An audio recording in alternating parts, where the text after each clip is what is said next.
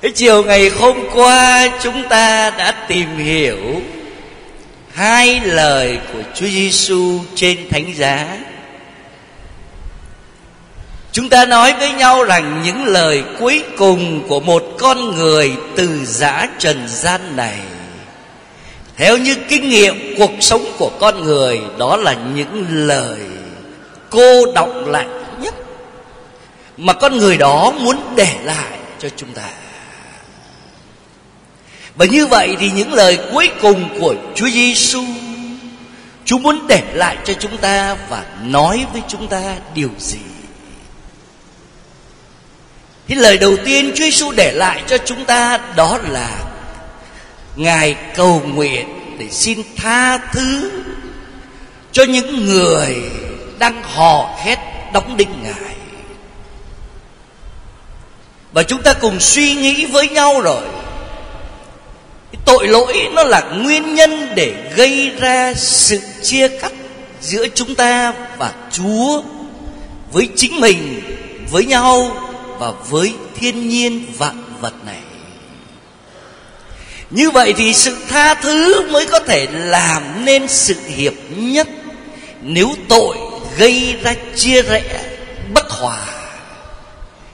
Thì chỉ có sự tha thứ mới có thể hiệp nhất chúng ta lại với Chúa và với nhau. Như thế, thì để có một sự hiệp nhất hòa thuận ở trong đời sống của chúng ta. Bởi vì không ai là một hòn đảo hết, Chúng ta sống là trong tương quan với nhau mà Trong quan hệ với nhau thôi Mà trong quan hệ với nhau mà lại không có một sự hòa thuận thì buồn lắm, Nặng nề lắm và để có một sự hòa thuận hiệp nhất với nhau như vậy, ở trong mọi mức độ, từ gia đình đến ca đoàn, đến khu họ, đến giáo sư thì đòi hỏi phải có sự tha thứ cho nhau. Như chúa đã tha thứ cho chúng ta. Cần phải có sự cầu nguyện cầu nguyện để xin ơn tha thứ cho mình và cho người anh em. Thế rồi chúng ta tìm hiểu tiếp lời thứ hai nữa. Đó là Chúa Giêsu hứa thiên đàng hôm nay cho cái người trộm ta gọi là trộm lành. Và chúng ta cùng nhìn hai anh cùng bị đóng đinh với Chúa. Cái một anh thì đóng đinh nhưng ở bên cạnh còn một anh thì đóng đinh với chúa. Đóng đinh với chúa có nghĩa là nhận ra mình tội lỗi cần được thương xót. Đóng đinh với chúa có nghĩa là chúng ta phải thương cảm. Chúng ta nhận ra được ở nơi chúa, ngài đang làm tất cả vì chúng ta. Đóng đinh với Chúa có nghĩa là chúng ta tham dự vào mầu nhiệm khổ nạn của Chúa Giêsu. Và như thế thì cây thập giá ở trong cuộc đời của mỗi chúng ta không bao giờ thiếu vắng hết. Chỉ có khác là cái cách chúng ta mang vác cây thập giá đó như thế nào trong cuộc đời của mình. Tin mừng Gioan ngày hôm nay dùng một chữ mà tôi muốn suy nghĩ thêm nữa. Chúa Giêsu nói với các môn đệ trong anh em có người nộp thầy, nộp thầy. Thế rồi Chúa Giêsu ngài chấm miếng bánh cho Judas, Miếng bánh của tình yêu đấy. Thế trong bữa cơm mà ta thương ai thì làm sao đây các chị? Gấp cho nhau. Để gấp cho nhau. Cho nên là khi mà đưa miếng bánh trao cho Juda, nó là trao tình thương. Trao tình thương để Juda nghĩ lại, thay đổi cõi lòng của mình. Thế nhưng khi ăn miếng bánh rồi, thì thánh Gioan thuật lại rằng Satan nhập vào y và y ra khỏi phòng. Lúc bấy giờ, ở bên ngoài, trời đã tối. Ông thánh Gioan khi ông dùng bất cứ một chữ nào ở trong cái thuật lại về cuộc đời của Chúa Giêsu thì luôn luôn có một ý nghĩa rất sâu. Ở trong cái căn phòng, giống như chúng ta đang ngồi ở đây này, ánh sáng. Có Chúa Giêsu hiện diện có các môn đệ. Thế mà tại sao Juda lại đi ra? Mà Juda đi ra, ở đâu vậy? Ông đi ra khi bên ngoài trời đã tối. Có nghĩa là Juda chấp nhận bước vào trong bóng tối. Chấp nhận mình thuộc về bóng tối để giao nộp Chúa Giêsu có một sự giao nộp khác nữa. Đó là một sự giao nộp. Chúa Cha giao nộp truy su cho chúng ta đấy. Có. Chúa Cha giao nộp truy su cho chúng ta. Nhưng mà đó là một sự giao nộp của tình yêu. Giao nộp của tình yêu giao nộp của tình yêu thì đem lại sự sống và vinh quang cho Chúa Cha. Cho nên ngay sau đó Chúa Giêsu nói, bây giờ tới giờ con người được tôn vinh. Và khi con người được tôn vinh thì Chúa Cha được tôn vinh. Tôi cũng hiểu, ở trong cuộc sống của mỗi chúng ta đây, có hai sự giao nộp chúng ta có thể mình mang thánh giá trong cuộc đời của mình. Nặng nề, tăm tối và cái chết là bởi vì chúng ta đứng về phía tội lỗi mà giao nộp anh chị em lẫn cho nhau, mà làm hại lẫn cho nhau, mà gây đau khổ cho nhau đó là sự giao nộp phát xuất từ bóng tối của tội lỗi. Còn một sự giao nộp khác, một sự giao nộp phát xuất từ tình yêu để trao nộp cho nhau, đem lại vinh quang và sức sống. Thế quý bà thế ngồi ở đây có nghĩ là mình đang giao nộp không? Các sơn nộp cho ai? Đang ngồi trong nhà thờ này giao nộp cho ai? Giao nộp trong cha xứ. Mình giao nộp cuộc đời của mình lúc này đây cho chúa đấy. Cho chúa đấy. Mình đừng có quên cái đó. Đâu ta hiện diện trong ngôi nhà thờ này có phải là ta đã giao nộp cuộc đời mình cho chúa không? Đấy. Cuộc đời mình cho chúa. Ê, thấy ông chủ tịch rồi. Rất rõ ràng ông chủ tịch mà chiều hôm nay mà là công việc bận rộn tới ngồi đây là một sự giao nộp đấy. Nộp cuộc sống mình cho chúa. Mở rộng hơn nữa. Trong một ngày sống của chúng ta, thường xuyên chúng ta đâu có sống cho mình. Mình đâu có sống cho mình. Ý của mình muốn là chiều hôm nay ở nhà, có bộ phim hàn quốc đang hay lắm, hôm nay cái tập rất hay nhưng mà mình đâu có làm theo ý mình. Mình muốn thực hiện cái này cái khác. Mà mình làm theo ý người khác không? Giao nộp đấy. Mỗi ngày diễn ra trong cuộc đời của mình luôn luôn là một sự giao nộp. Nếu chúng ta trao nộp cho nhau vì tình yêu, nó sẽ nở hoa, sẽ đem lại sự sống còn nếu không, thế chỉ dẫn đến cái chết thôi thế nên là cái lời thứ hai của Chúa Giêsu đó là lời để nói với mỗi người chúng ta hãy mang lấy thánh giá và cùng đóng đinh với Chúa Giêsu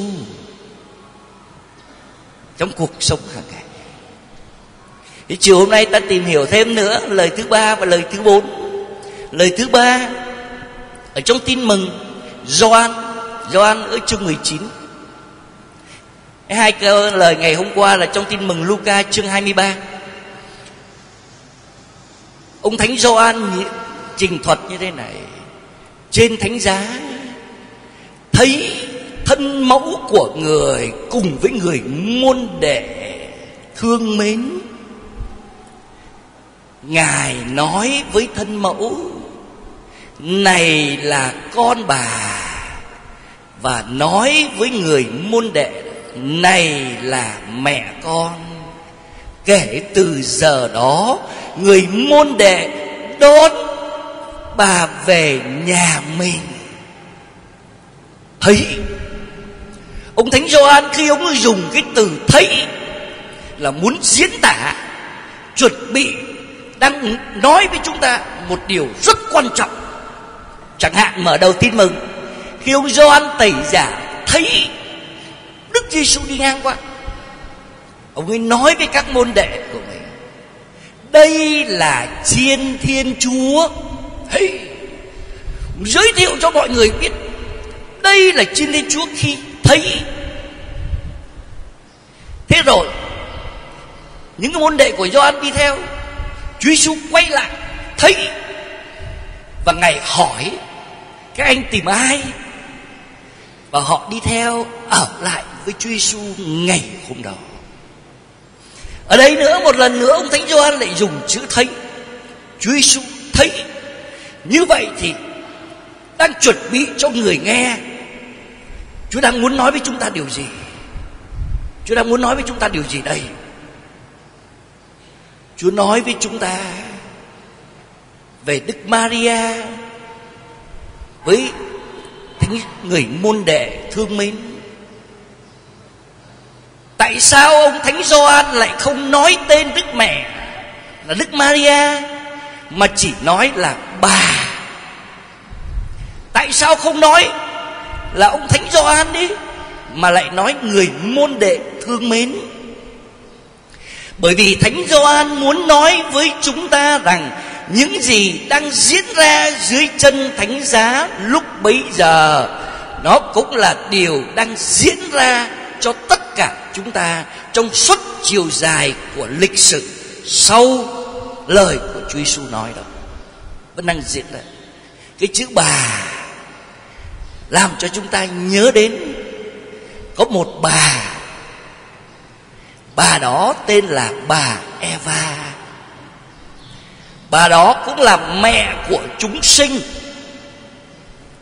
Và bà đó đã dẫn đưa hậu duệ của mình, những người con của Eva đi vào trong tội lỗi và cái chết. Thế thì bà ở đây, bà Eva mới khai mở cho chúng ta một nhân loại mới một cuộc sống mới. Nhân loại và cuộc sống mới đó gắn liền với cái chết của Chúa Giêsu trên thánh giá. Nhân loại mới đó, gia đình mới đó được sinh ra từ cách sườn của Chúa Giêsu máu và nước chảy ra. Máu và nước chảy ra đó chính là hai bí tích rửa tội và thánh thể, nước và máu. Như thế, giáo hội được sinh ra từ cây thánh giá giáo hội được sinh ra từ cách sườn của Chúa Giêsu và cũng được nuôi dưỡng từ cách sườn của Chúa Giêsu mỗi thánh lễ mỗi thánh lễ là tiếp tục hy tế của Chúa Giêsu trên thánh giá, bây giờ được tái diễn trên bàn thờ để nuôi dưỡng giáo hội. Đức Maria gọi là bà trở thành mẹ của người môn đệ. Người môn đệ thương mến, muốn nói đến tất cả chúng ta, những người môn đệ của Chúa Giêsu sẽ đi theo ngài đến tất cùng của dưới chân cây thánh giá. Những con người môn đệ đó sẽ thuộc về gia đình của Chúa Giêsu và ngay giờ đó, người môn đệ đón bà về nhà mình, đón về. Có nghĩa là cả chúng ta được sinh ra từ nơi cung lòng của Chúa và thuộc về giáo hội của Chúa Kitô. Nếu Đức Maria là mẹ của chúng ta, người mẹ thiêng liêng thì chúng ta hãy đón Đức Maria vào trong cuộc đời của mình. Chúng hãy yêu mến Đức Maria bởi vì Đức Maria đã cứu mang sinh hạ, nuôi dưỡng và đi theo người con đến tận cùng. Có người mẹ nào đang hiện diện ở đây, đau khổ bằng đức maria không? Người mẹ đó đã ôm xác con của mình từ trên cây thánh giá xuống. Người mẹ đã chứng kiến những lời lăng nhục con của mình. Người mẹ đó đã nhìn thấy những vết thương trên người con của mình cho nên, người mẹ đó thấu hiểu cuộc sống của những người con như thế nào. Nên chúng ta đón đức maria về, cũng là chúng ta đón nhận người mẹ của chúng ta. Người mẹ thiêng liêng, cảm thông, chăm sóc, nâng đỡ, ủi an chúng ta. Đừng quên đức mẹ đón Đức Maria về nhà như mẹ và con, làm nên một giáo hội. Và vì thế người ta gọi giáo hội là mẹ của chúng ta. Trên ta nghe hay nghe nói người ta không gọi giáo hội anh em. Ta nói mình với lại giáo hội ở tại Singapore, Giáo hội ở tại Thái Lan, Hay là giáo hội của mình với lại giáo hội của các quốc gia khác, Người ta không gọi các giáo hội anh em, Mà gọi các giáo hội chị em. Có bây giờ mình thắc mắc như vậy không? Tại sao gọi là anh em mày gọi là chị em. Là bởi vì giáo hội chính là cung lòng sinh ra chúng ta. Sinh ra chúng ta. Nếu như vậy, chúng ta trở thành người công giáo và ngay từ lúc chúng ta lãnh nhận bí tích rửa tội là chúng ta thuộc về giáo hội, chúng ta phải yêu mến giáo hội, phải xây dựng giáo hội giáo hội có thể như người mẹ vậy, có những hiểu lầm về con cái mình. Giáo hội cũng như người mẹ trần gian vậy, có những cấm đoán mà làm cho con của mình không hài lòng. Có những đòi hỏi mà làm cho con của mình không mong muốn chờ, mong muốn. Thế nhưng giáo hội đó vẫn cứ luôn luôn là một người mẹ yêu thương con cái cho nên chúng ta có thể thấy ở trong giáo hội. Giáo hội đó là đâu? Giáo hội đó chính là giáo sứ phú bình đây nè. Giáo hội đó là cộng đoàn giáo sứ của chúng ta đây nè. Cái cộng đoàn giáo hội này có thể có những hiểu lầm. Giáo hội, cộng đoàn ở đây nè, có thể có những hướng dẫn mà ta không mong muốn và ưa thích. Thế nhưng, chính cộng đoàn này là giáo hội vẫn luôn luôn yêu thương chúng ta và chúng ta phải yêu thương cái cộng đoàn mà ta đang sống ở đây. Cho cái ngày đầu tiên tôi về giáo sứ này, tôi nói tôi nói mà có một vài người bảo tôi cường điệu quá. Tôi nói là tôi cảm thấy tự hào và tôi yêu mến cái cộng đoàn ở đây. Bởi vì tôi thuộc về mà, tôi phải yêu thương giáo hội chứ. Nếu tôi không yêu thương giáo hội, tôi không xứng đáng ở trong giáo hội dù giáo hội đó có cư xử với tôi như thế nào, dù cộng đoàn đó có cư xử với chúng ta làm sao, thì chúng ta vẫn cứ yêu thương bởi vì ta biết rằng giáo hội đó là giáo hội của Chúa Kitô. Và giáo hội đó, giáo hội đã được sinh ra từ chính máu và nước trong cách sườn của Chúa. Giáo hội đó đã được khai sinh bằng chính cái chết của Chúa Giêsu trên thánh giá. Đừng bao giờ xem thường giáo hội đừng bao giờ nói xấu giáo hội. Đừng bao giờ phê bình giáo hội. Chúng ta phải yêu mến giáo hội. Cũng như chẳng có người con nào đi nói xấu bố mẹ, chẳng có người con nào đi phê bình bố mẹ của mình. Này, lời Chúa Giêsu lời Chúa Giêsu muốn để lại cho chúng ta là như thế. Cái lời thứ bốn.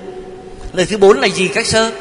Quên mất rồi trong tin mừng Marco chương 15 Eloi Eloi, lama sabachthani. Tiếng do thái, rồi ông thánh Marco dịch lại bằng tiếng hy lạp. Lạy chúa, lạy thiên chúa của con, sao ngài bỏ rơi con? Thường chúng ta nghe cái lời này là chúng ta nghĩ rằng đây là một lời than van bởi vì bị bỏ rơi rồi. Bỏ rơi rồi. Nhưng mà trước hết ta tự đi hiểu lại. Cái mà cô đơn nhất ở trong cuộc sống, đó là cái gì? Đó là đối diện với cái chết. Không ai mà chết mà kéo người khác đi chung hết đấy luôn luôn là chết một mình và cái điều chúng ta sợ trong cuộc sống đó là một sợ một mình. Lắm tôi nhớ tôi còn nhỏ, có khi phải đi đâu công việc đi ngang qua cái nghĩa trang phía bên ngoài rìa thôi, mà đi một mình thì sợ lắm. Thế vậy mà có khi mà có thằng bạn đó đi vô lùng bắt dế ở trong nghĩa trang đó tới 6 giờ 6 giờ rưỡi tối chưa sợ, thì vẫn cứ đi tìm dế. Cái gì làm cho mình sợ? Một mình đấy một mình chứ có ai bên cạnh thì đâu có sợ, không có sợ. Thế ta thấy Chúa Giêsu ở trên cây thánh giá. Cái ngày có ai? Tất cả chung quanh đều là những con người đang căm giận, đang dùng những cái lời thóa mạ không ai muốn đệ bộ cho nên một nỗi cô đơn cùng cực nhất cảm thấy hoàn toàn cô đơn nhất, nặng nề nhất. Và chính trong một nỗi cô đơn như thế vậy mà Chúa Giêsu ngài thốt lên cái lời lạy Chúa, lạy Thiên Chúa của con, sao? Bỏ rơi con. Nếu hiểu đây là một lời tuyệt vọng, không đúng không đúng một nỗi cô đơn sợ hãi vô cùng. Sợ hãi như trong vườn Gethsemane mà thánh sử đã ghi lại rằng đó, là ngài máu và nước chảy ra. Sau khi ngài cầu nguyện trong vườn Gethsemane xin đừng cho con uống chén này mà xin cho con theo ý của cha. Tại sao máu lại chảy ra như vậy? Khi người ta sợ hãi tới cái mức độ căng thẳng nhất thì những cái mạch máu nhỏ nó vỡ ra. Và cùng với mồ hôi trên máu và nước chảy ra là như thế vậy. Sợ lắm. Một nỗi sợ hãi đó nhưng mà Chúa Giêsu không tuyệt vọng, bởi vì đây là lời mở đầu của Thánh Vịnh 22 Thánh Vịnh, Tối nay đã về có Thánh Kinh, ta mở Có đọc Thánh Vịnh 22 dài lắm. Đây là Thánh Vịnh của một người Bị đau khổ Bị bỏ rơi. Nhưng vẫn một niềm cậy trông vào Thiên Chúa, tin tưởng vào thiên chúa. Dù như thế nào vẫn luôn tin tưởng vào thiên chúa. Đó là điều lời cầu nguyện này lời thốt lên ở trên cây thánh giá này của Chúa Giêsu muốn nói với mỗi người chúng ta nói cái gì cả đoàn biết không? Nói với mỗi người chúng ta cái gì? Chúa Giêsu qua lời thứ tư này muốn nói với mỗi người chúng ta điều gì?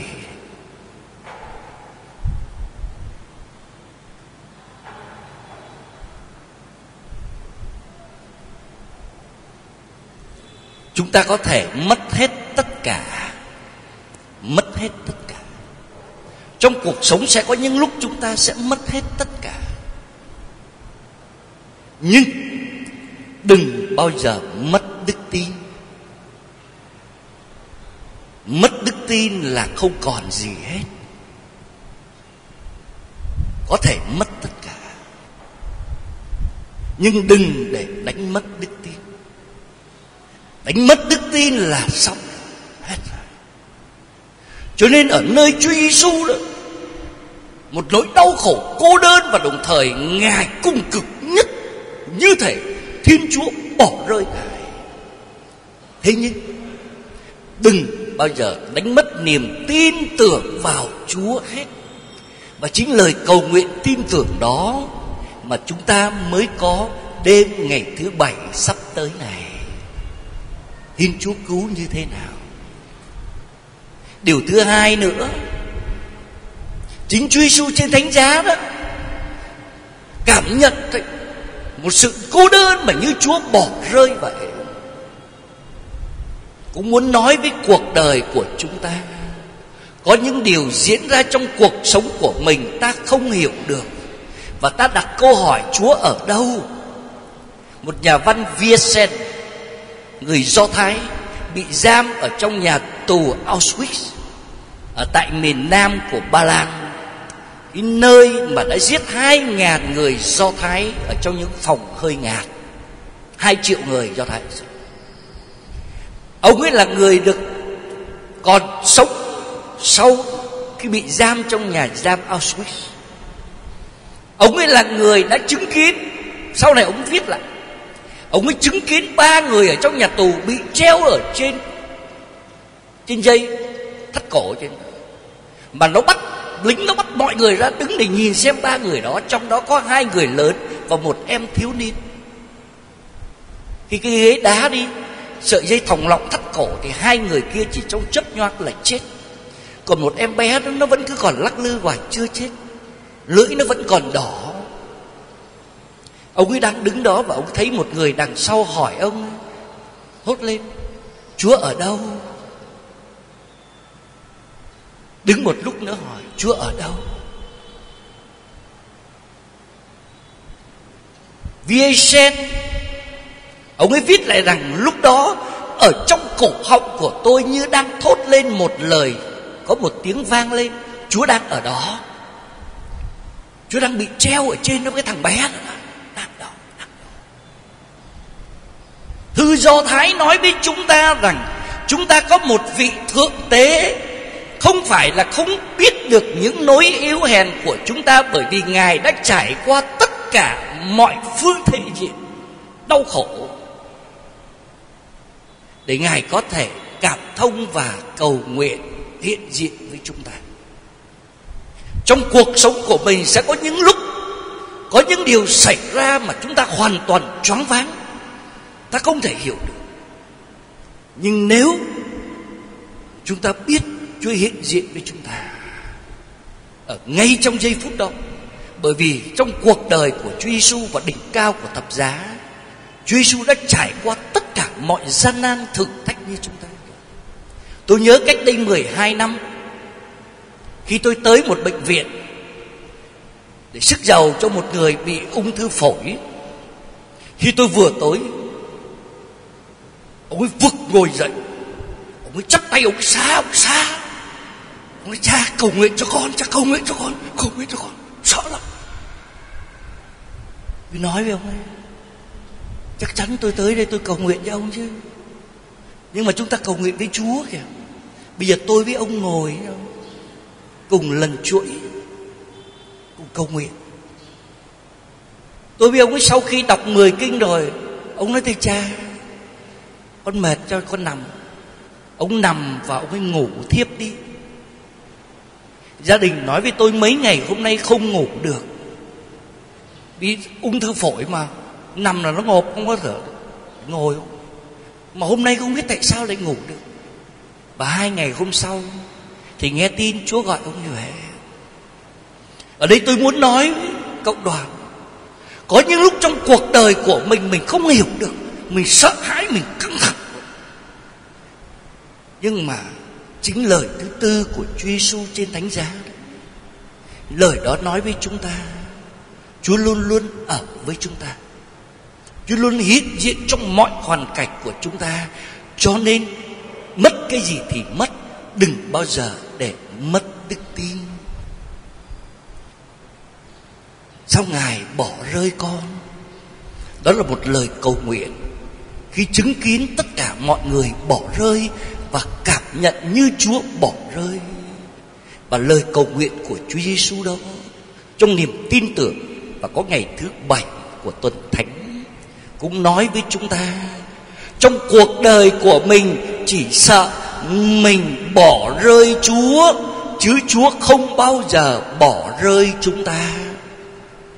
Chỉ sợ rằng chúng ta quên Chúa, chứ Chúa không bao giờ quên chúng ta hết bởi vì chính Chúa đã nói, có người mẹ nào quên con mình, có người mẹ nào không thương đứa con mình mang nặng đẻ đau, mà giả như nếu có đi chăng nữa thì ta ta sẽ không bao giờ quên ngươi hết. Cho nên, chỉ sợ rằng mình quên chúa, chứ chúa không bao giờ quên chúng ta. Mình bỏ rơi chúa và đó mới là cái sợ nhất trong cuộc đời sợ nhất trong cuộc sống này, chúng ta không còn có chỗ chúa làm nơi nương tựa tin tưởng và hy vọng nữa. Đừng bao giờ đánh mất niềm tin vào chúa, cho dù chúng ta có thể mất rất nhiều thứ trong cuộc đời này.